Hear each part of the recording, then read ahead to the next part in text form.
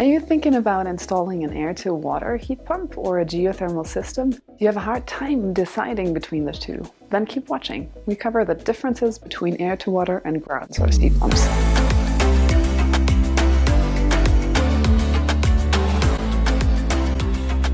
What is the cost to install and run the system compared to oil and gas? And what are other significant differences that you should be aware of before making a decision?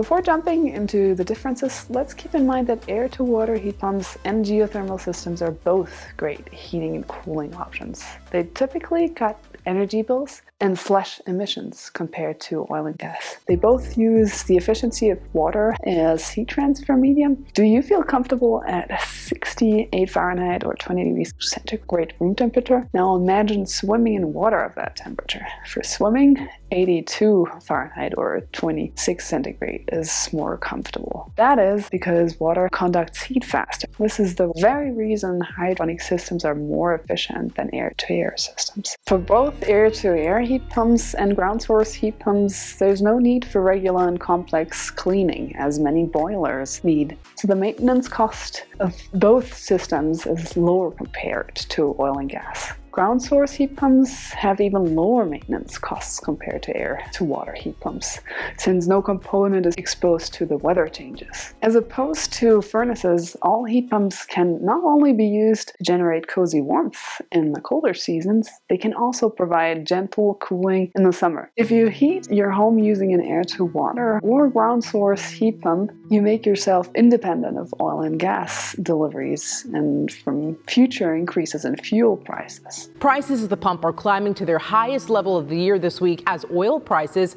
push past $92 a barrel. In Germany, air to water heat pumps are already the most popular type of heating system in new buildings. Air to water heat pumps don't require drilling as opposed to ground source heat pumps. As a result, they typically cost less upfront but are usually a bit more pricey to run. The main difference between an air to water and a ground source heat pump design is on the source side of the system. Air-to-water systems collect heat from the air, while ground source heat pumps collect heat from the ground. An air-to-water system sources heat from the air on the source side and transfers it to a refrigerant. And the refrigerant then cycles it to a heat exchanger, where it can heat the load side water to be pumped through the house.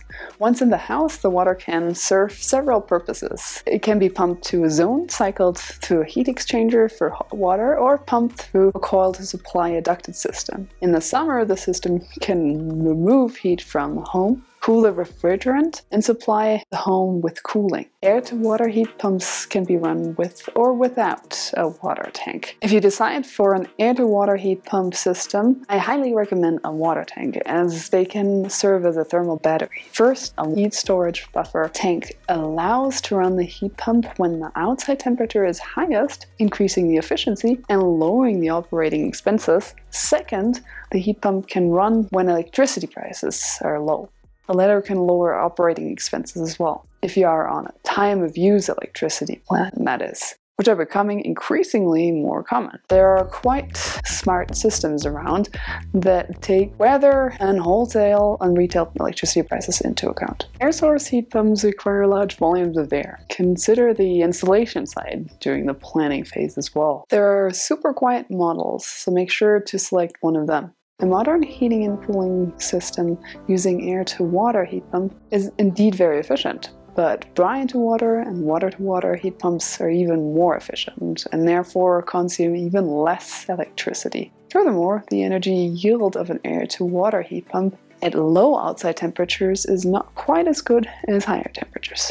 One of you asked me, so I'm a little confused. I'm trying to decide between ASHP and air-to-water heat pump systems in an area in Canada where the coldest day of the year is typically minus 18 degrees centigrade. So both of them can work down so far. Why pick one over the other? Do water heat pumps also work with ducts? There are several questions wrapped in this. Outside temperature is a big part of the decision when it comes to air to water versus geothermal. However, there has been a lot of development in cold climate heat pumps, resulting in much more efficient systems at low outside temperatures. The coefficient of performance depends on the load side inlet temperature. Which inlet temperature you need depends on the temperature in your home and your load side heat distribution setup. It should typically be somewhere between 35 and 45 degrees centigrade or 95 to 113 Fahrenheit. If we look at minus 25 centigrade or minus 13 Fahrenheit, the COP is still around 2. This means 200% efficiency. I think this is amazing. When we feel freezing cool outside, it's hard to imagine for us humans how much heat there's still in the air.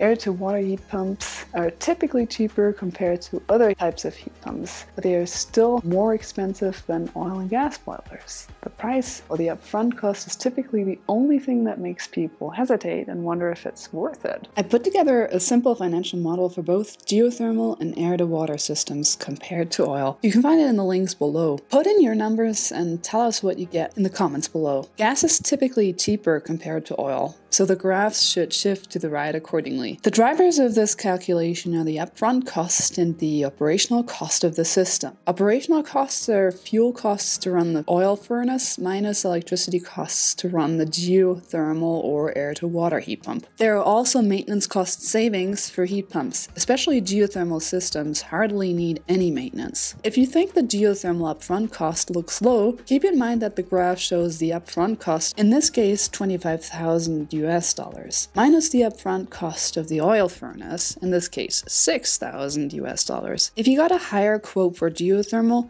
then it'll take longer to pay down. I recommend getting multiple quotes and asking what can be done on a tight budget.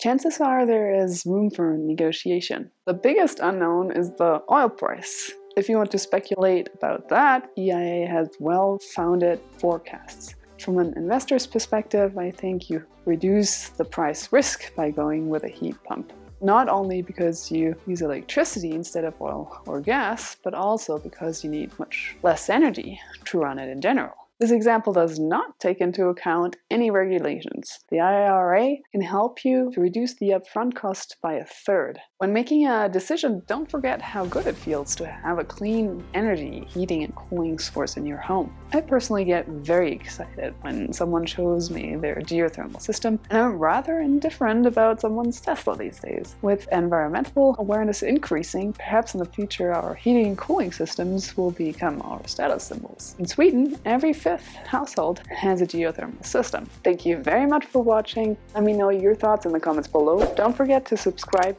and see you in the next video.